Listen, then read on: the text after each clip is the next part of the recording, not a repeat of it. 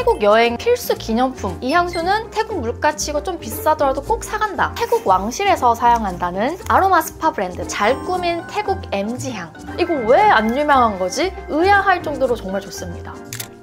안녕하세요 여러분. 사와디카. 여러분 얼마 전에 제가 태국 방콕에 다녀왔어요. 근데 태국이 아시아 국가들 중에서 향기 문화가 특히 발전한 나라 중에 하나고 또 태국의 local 향수 브랜드도 다양하거든요. 왜냐면은 태국이 뭐 마사지나 스파 산업이 세계적으로 유명한 국가니까 그 때 사용하는 아로마 오일이나 바디 제품이 좋은 퀄리티로 만들어지기도 했고 또 태국 음식에 사용되는 향신료라던가 종교적인 의식을 할 때의 향료 혹은 뭐 그 따뜻한 나라 특유의 다채로운 식물, 허브 뭐 이런 자연 원료들이 풍부하게도. 하죠. 또 관광지다 보니까 그 나라를 기억할 만한 기념품으로서의 향기템도 수요가 많을 수밖에 없습니다. 그래서 우리나라에서도 탄이라던가 유겐 이런 인기 태국 브랜드들이 공식으로 수입되고 있기도 한데 아직 한국에서는 구하기 힘든 태국 브랜드들도 많거든요. 그래서 저도 신나게 향기템 쇼핑을 해봤습니다. 유명한 제품들부터 제가 찾은 숨은 보석까지 지금부터 바로 소개해드릴게요. 일단 태국 여행 필수 기념품 중에 하나로 손꼽히고 또 태국의 국민 향기템이라고 할 수 있는 하이젠 fabric freshener 이렇게 향낭이랑 요거를 걸어둘 수 있는 리본이 같이 들어가 있어서 옷장에 걸어두면 옷에 좋은 향기가 스며들게 하는 제품이에요. 어, 요거 하나당 한 1, 2천 원 정도의 저렴한 가격이고요. 옷장뿐만 아니라 에어컨 앞에 걸어놔도 되고 차량용 방향제로도 쓸 수 있는 제품인데 어, 요 하이젠이라는 브랜드가 섬유 전문 브랜드래요. 많은 향들이 있는데 일단은 요거 Blue Fresh 저는 개인적으로 하이젠 향 중에서 이게 제일 좋더라고요.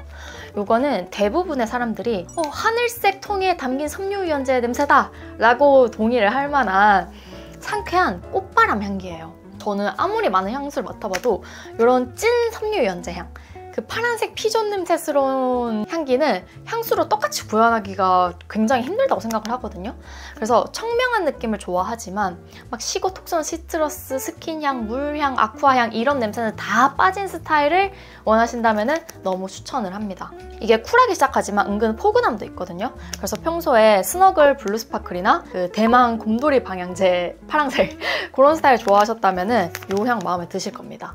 다음은 Violet Soft. 요거는 요거 다음으로 마음에 들었던 향이에요. 이 향은 좀 고상해요. 이름 그대로 바이올렛 꽃향기가 아주 소프트하게 퍼지는 향인데 왜 향수에서도 바이올렛 꽃이 메인인 제품에서는 우아한 powdery 향이 느껴지잖아요.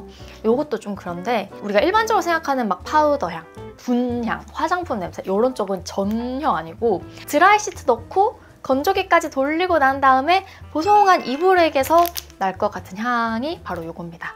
그리고 이 검정색이랑 파랑색 오, 요 향도 되게 좋더라고요. 그리고 이렇게 패키지가 이렇게 꽃무늬로 되어 있는 거는 그냥 일반 네모로 되어 있는 것보다 지속력이랑 발향력이 더 좋습니다. 일단 이 파랑색 요거는 되게 juicy한 달콤함이 확 퍼져요. 약간 카프리썬 같은 과즙 음료가 떠오를 정도로 sweet한데 거기에다가 뭐 작약 같은 꽃들이 여러 가지 섞여 있어서 요 하이젠 향들 중에서 가장 향 자체가 풍성하고 좀 확실하게 발현된다는 느낌을 받았습니다. 그리고 제가 태국의 샴푸를 여러 종류 써봤거든요. 태국이 막 샴푸나 헤어 제품 좋다고 그러길래 근데 그 태국 샴푸들이 대체로 향이 우리나라 제품들보다 좀 더 강렬하고 달달해요. 근데 이게 딱 태국 샴푸 느낌이에요. 아니면은 다우니 어도로블 이런 거 좋아하셨으면 취향에 맞을 것 같아요.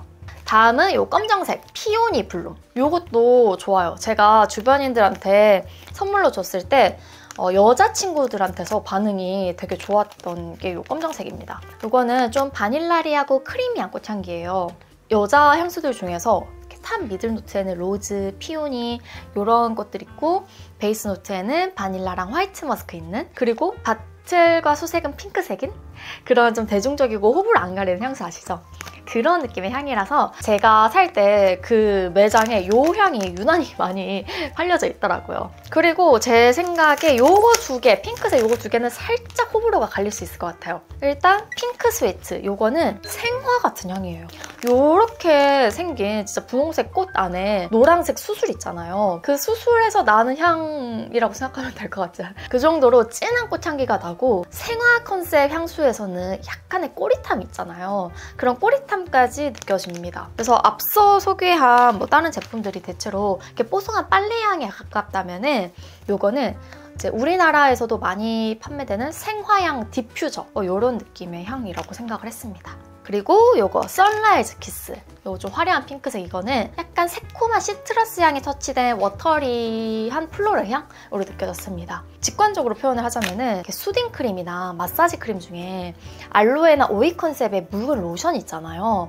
그런 거에서 날 법한 향입니다. 그리고 이 watery함이 약간 스킨이나 토너 같은 기초 화장품 향 같기도 해요. 근데 우리나라 정서상 그런 막 soothing 로션이나 스킨케어 냄새가 나면은 좀 공용 목욕탕에 있는 제품을 연상케 하는 사람이 많고 방향제 냄새로 여기는 경향이 있는 것 같아서 이거는 우리 같은 한국인 관광객보다는 현지인들이나 외국인들이 좀 더 선호할 것 같은 향이다 라고 개인적으로 생각을 했습니다. 하지만 이 여섯 가지 향 전부 다 저희 시청자분들처럼 향수 즐겨 쓰시는 분들이라면 부담 없이 사용할 만한 제품들이에요. 이거 제가 다 사용해 보니까 이렇게 넓은 거실이나 방에서 사용하기에는 향이 좀 약해요. 굉장히 다 은은하거든요. 그래서 화장실이라던가 신발장, 차, 옷장 이런 데 넣어두기에 적합하고 저는 캐리어 안에 이거 하나씩 넣어두니까 딱 좋더라고요. 아무래도 여행하다 보면은 캐리어에 막 세탁 안하노, 신발 이런 거 다 넣어두니까 살짝 불쾌한 냄새가 날 수도 있는데 이거 넣어두니까 확실히 냄새 잡아주고 또 향이 다 배더라고요. 그 향은 한 8주에서 12주 정도 지속이 된다고 합니다. 그리고 제가 갔던 곳에 보니까 하이젠 옆에 이렇게 생긴 종이 방향제도 있더라고요. 이거는 유명한 건 아니고 저도 처음 봤는데 그냥 코알라가 귀여워가지고 한번 사봤습니다. 일단 이 Racer Sports 이거는 시원한 남자 스킨 향이에요. 좀 쿨워터스러운 향수 냄새 느낌? 그리고 이 melon berry는 진짜 이름 그대로 melon berry 향. 메로나 향 80%에다가 딸기 향 20%? 근데 이거 둘 다 약간 약간 인공적인 향이라서 어, 한국인들이 크게 선호할 스타일은 아닌 것 같습니다. 그리고 태국의 대표적인 local 향수 브랜드 중에 하나인 저널 매장을 가봤어요. 그리고 저널의 시그니처 향인 The Legacy를 사봤습니다. 제가 막 좀 인터넷에 살펴보니까 이게 향이 너무 좋아가지고 그냥 태국에 배낭여행 와서 그렇게 돈 많이 안 쓰시는 분들도 이 향수는 태국 물가치고 좀 비싸더라도 꼭 사간다 라고 하시는 분들도 꽤 계시고 또 중국인 관광객들은 막 두 손 가득 저널 쇼핑백을 가지고 다니기도 하는 거를 몇 번 봤습니다 제가.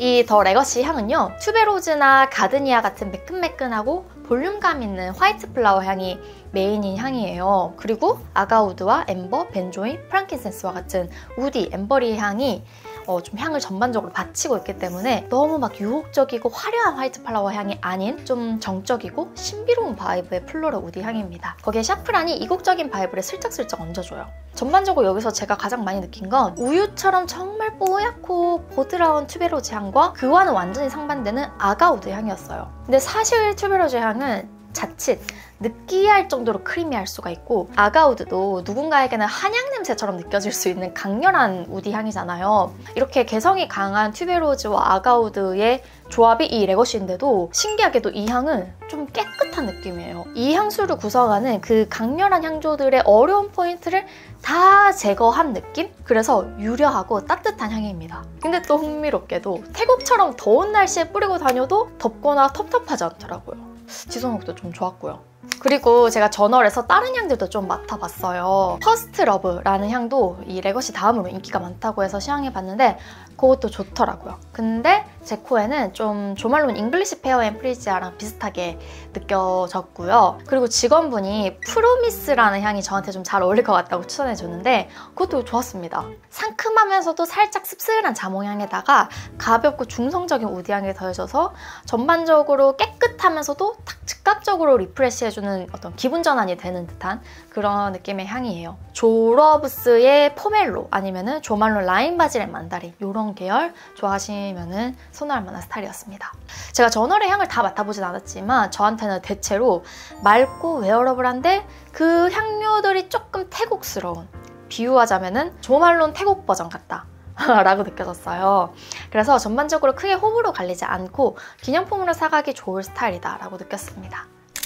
그리고 다음으로는 태국 왕실에서 사용한다는 아로마 스파 브랜드 Panpuri도 가봤어요. 어, Panpuri는 향이 되게 luxury하면서도 좀 점잖다고 해야 되나? 그래가지고 부모님 선물이나 좀 중요한 분한테 드리는 기념품으로 제격이라는 생각을 했습니다. 저는 Panpuri의 대표 향인 Siam Water를 이렇게 perfume oil로 구입을 해봤는데요. 제가 진짜 좋아하는 스타일인 동남아 고급 마사지샵 어, 그런 장르의 향입니다. 자스민 향을 필두로 일랑일랑의 고급진 flower 향도 나고요. 그리고 민트 향도 약간 곁들여져서 한 끝에 청량함을 더한 느낌? 거기에다가 sandalwood의 부드러운 woody향이 잔향으로 남아서 뭔가 태국스러운 목재 호텔에 들어간 듯한 그런 분위기도 만들어주는 향입니다. 근데 앞서 소개한 Journal이 perfume 브랜드라면 이 Panpuri는 그러니까 스파 브랜드거든요. 그래서 여기에서 나는 자스민 향은 우리가 흔히 향수에서 맡아본 자스민 향조 느낌이 아니라 자스민 아로마 오일, 스파 가면 주는 자스민 tea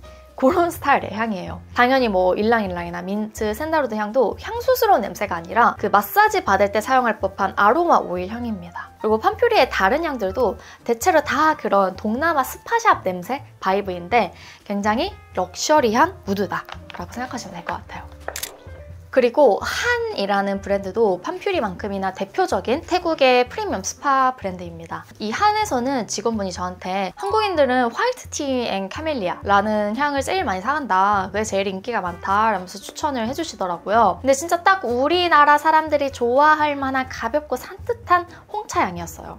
내가 누군가에게 선물로 준다면 그거를 주고 싶었는데 저는 이 Harnn에서는 조금 개성 있는 향을 구입을 하고 싶어서 이 Almond and Thyme 이게 제일 끌리더라고요. 이거는 아몬드의 고소하면서도 알싸한 향이 확 나면서 thyme이라고 하는 허브의 강렬한 신선함이 조화된 향입니다. 이 thyme이 약간 거칠고 야생적인 허브 향이라서 거의 leather 향처럼 느껴질 정도거든요. 그래서 아몬드의 너티함과 타임의 에너지틱한 프레시함이 만나서 마치 태국의 야생 정원에 들어간 듯한 그런 느낌을 만들어준 향이고요. 발향력도 좋고 보습력이나 제형도 괜찮았습니다. 그리고 저는 또 외국에 가면은 이런 뭐 Harnn, Panpuri, Journal 이런 그 나라 특성이 잘 드러난 local 향수 브랜드 써보는 것도 너무너무 좋아하는데 그런 거 말고. 그러니까 그 나라의 MZ들이 많이 쓰는 향기템. 그러니까 관광객 말고 거기에 현지인들이 실제로 즐겨 쓰는 향수. 거기 젊은 애들한테 유행하는 스타일. 이런 것도 진짜 궁금하거든요. 그래서 좀 변태 같긴 한데 그 나라 젊은 애들이 이렇게 날 스쳐 지나갈 때 나는 향기를 되게 유심히 맡아봐요. 그러니까 우리나라 같은 경우는 성수동이나 압구정 이런 데 있는 되게 잘 꾸민 젊은이들한테서는 woody musk 향이 많이 난다고 느껴지거든요. Diptyque, Le Labo, 뭐 Aesop 이런 스타일. 근데 태국의 예쁜 MZ lady들한테서는 어, 되게 화려하고 달달한 향기가 많이 나더라고요. 어, 그래서 어, 그런 스타일의 향 뭐 있을까 싶어서 제가 뭐 Boots나 Watsons, Beautrium 이런 드럭스토어 가서 또 향기템을 이렇게 쥐잡듯 뒤졌는데 요게 딱 제가 생각하는 잘 꾸민 태국 MZ향 이었습니다. 물론 제 뇌피셜, 아니 코피셜입니다. 아, 근데 이 브랜드 제품에 뭐 더라 타일랜드 넘버원이었나 왓슨스 넘버원이었나 확실히 뭐 기억 안 나는데 하여튼 그런 뭐 넘버원 이런 라벨이 붙여져 있기도 하더라고요. Kiss My Body의 Passion이라고 하는 향이고요. 이 향은 빨간 사과에다가 달달한 초코 바닐라 파우더를 이렇게 막 뿌린 느낌? 그리고 거기에 woody향까지 확실히 더해져서 Kayali Eden Juicy Apple이나 왠지 Victoria's Secret에 있는 빨간 병에 담겨있을 것 같은 향수 느낌? 되게 섹시하고 핫한 gourmand woody 향입니다. 딱 여기에 이분 이 사람에게서 날 법한 향이에요.